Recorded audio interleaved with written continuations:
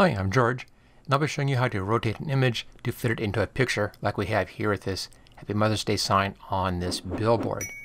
Alright, first thing I'll do is just to get rid of that layer, hit the trash can and get rid of that, there we go.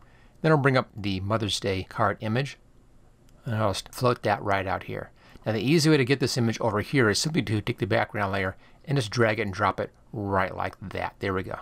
So far so good. Now pull this down so that you can see the upper left hand corner then use the Control T keyboard shortcut to show your control handles. And then grab that corner and pull that down a bit, make the image smaller so we can get it to fit. I'm going to be first fitting the bottom of this and I'll position the bottom left hand corner like that. Get that about where I want it. We're then going to rotate this image.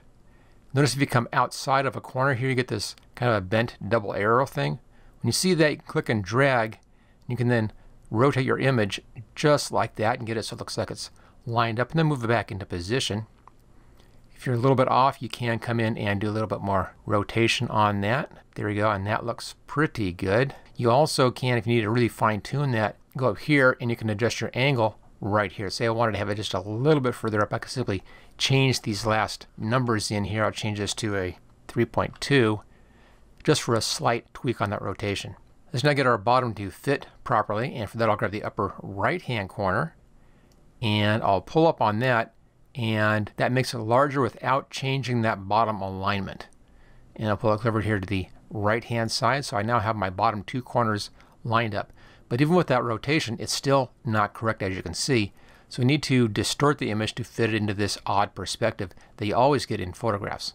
So for that, go up to the Edit menu, come down to transform and change your transform down here to distort. And this allows you to grab a corner and then put it anywhere you want. So just place your top left hand corner right up like that. There we go. And take your top right hand corner and pull that in. I like to pull it in past where I need to go so I can actually see that and then I'll move back up into that position. There we go. Hit the check mark. Well now it's more text onto the billboard. I'll grab the type tool here and let's set our type color to black just to start off with. Come down bottom left hand corner like that. There we go. And click any place in here and you get a little basic insert text. I'm going to start off with just typing in the first part of my text.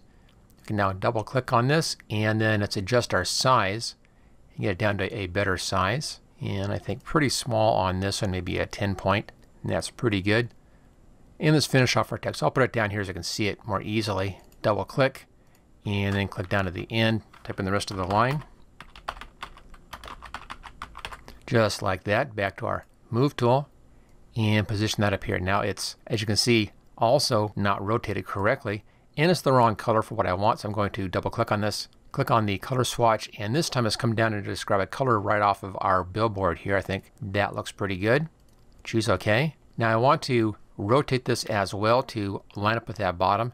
We can do the exact same trick. Use the Control T keyboard shortcut to bring up our control handles. Come just outside any of our corners here and you can then rotate that text around until it lines up properly with the bottom of the billboard. Position it right in here somewhere and that I think looks pretty good right there.